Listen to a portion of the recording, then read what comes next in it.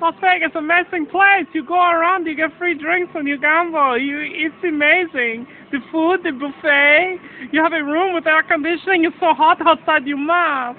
But in Las Vegas, you get in trouble if you don't take care of yourself and your friends. So remember, friends, look out for one another and don't bang the chick with crabs.